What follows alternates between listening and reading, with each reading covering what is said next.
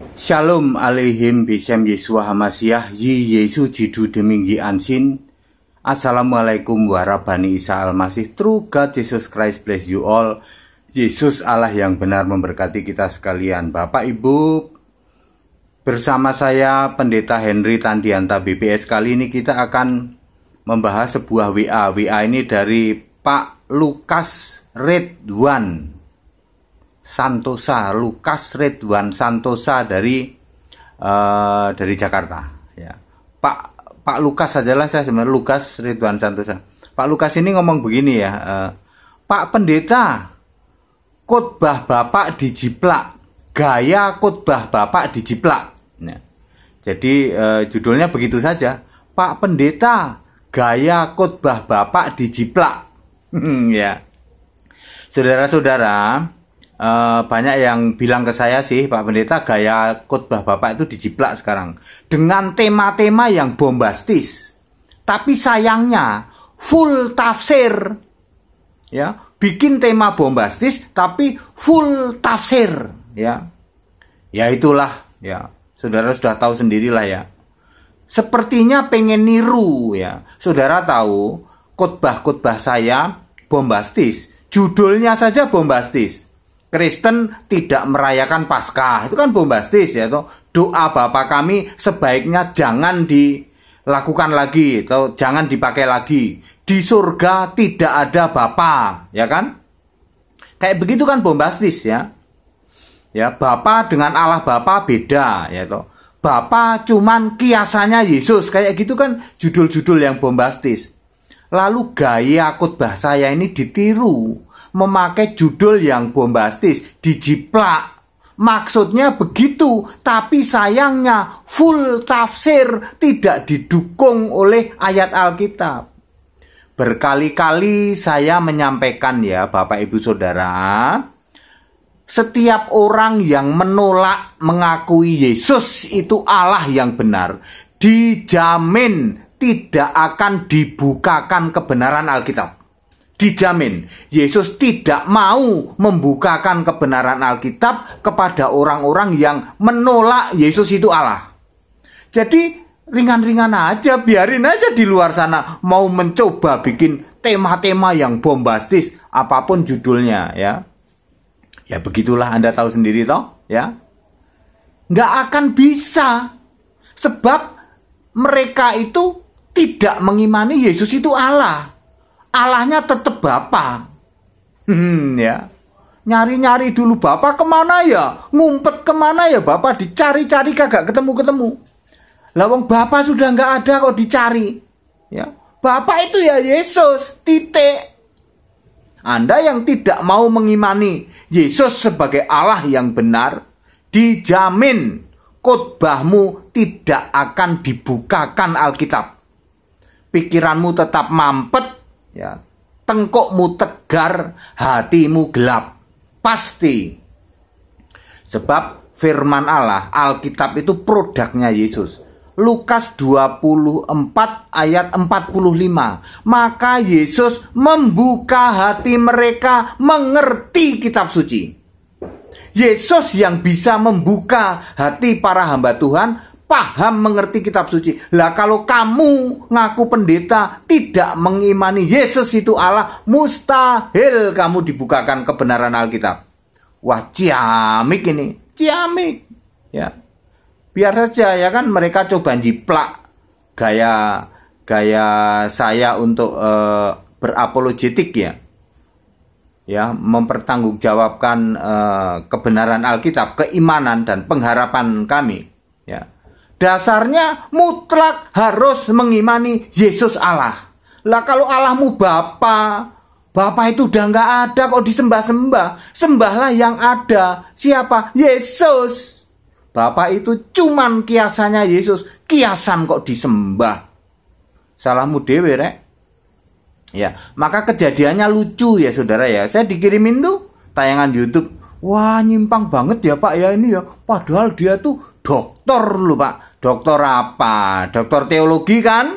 Dokter teologi ya dokter micin, ilmu micin, bukunya micin, buku-buku teologi, bukan Alkitab. Kan sudah dibilang Bagi orang yang menolak menerima Yesus sebagai Allah, mustahil dibukakan kebenaran Alkitab. Lukas 24 ayat 45 Yesus membuka pikiran mereka sehingga mengerti kitab suci Siapa yang bisa membuka pikiran supaya mengerti kitab suci? Yesus Bukan buku Gelar boleh berderet-deret Khotbahnya Tafsir semua Ya Udah gitu mereka pada ini Pada berbantah-bantah jago tafsir berbantah dengan jago tafsir. Pendeta jago tafsir bantah bantah pengajarannya pendeta jago tafsir. ya. Ya, kalau mau bantah itu pakai ayat Alkitab. Zaman no kamu masih pakai tafsir, para hamba Tuhan malu-maluin, ya. Zaman no itu kembali ke Alkitab, kebenaran Alkitab. Alkitab mana Pak? LAI aja. Bagaimana Alkitab Ibrani halah ya sok hebat orang LAI itu banyak translator bahasa Ibrani bahasa Yunani bahasa Itali bahasa Inggris bahasa Arab ya dan bahasa-bahasa lain. Ya kalau mau sok pinter coba Alkitab bahasa Ethiopia atau bahasa Rwanda ge biar sama-sama nggak mudeng kan ya. Ya di LAI sudah banyak translator. Pakai Alkitab LAI aja bahasa Indonesia. Bahasa Indonesia aja nggak mudeng. Sok hebat bawa-bawa kitab Ibrani. Mudeng juga kagak. Hmm, ya.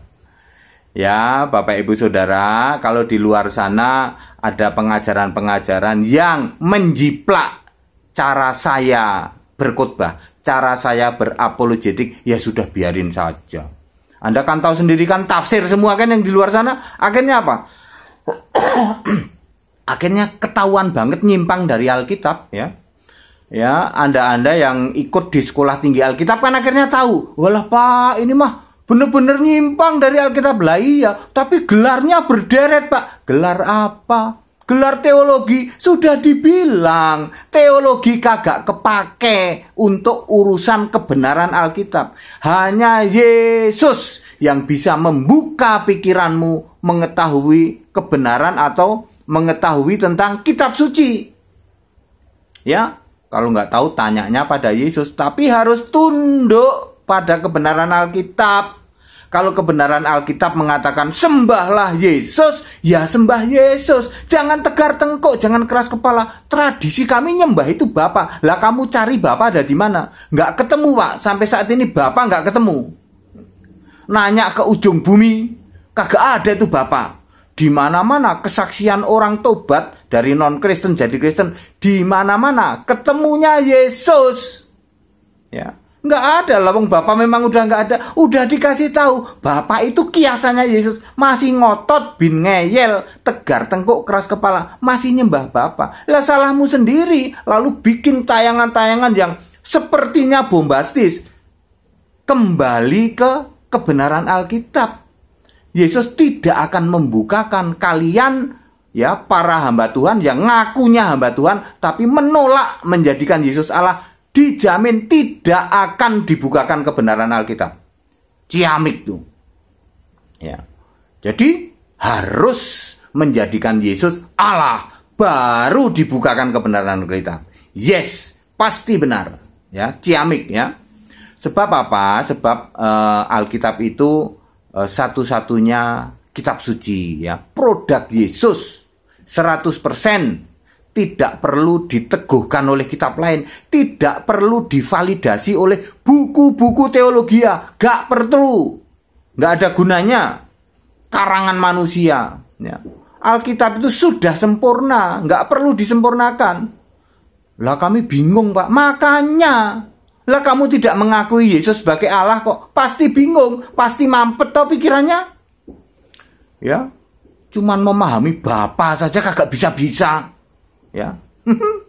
mahasiswa sekolah tinggi Alkitab ketawa itu ya, yang masih mahasiswa saya ketawa. Memahami Bapak aja kagak ngerti-ngerti, ya puluhan tahun jadi Kristen lo gelar berderet-deret nggak bisa paham siapa Bapak udah dibilang Bapak itu kiasannya Yesus kamu cari di kitab Wahyu tidak ada Bapak cuman sampai uh, Wahyu pasal 3 ketika Yesus bicara sama Yohanes. Selebihnya Yesus itu adalah Tuhan Allah, Alfa Omega, anak domba.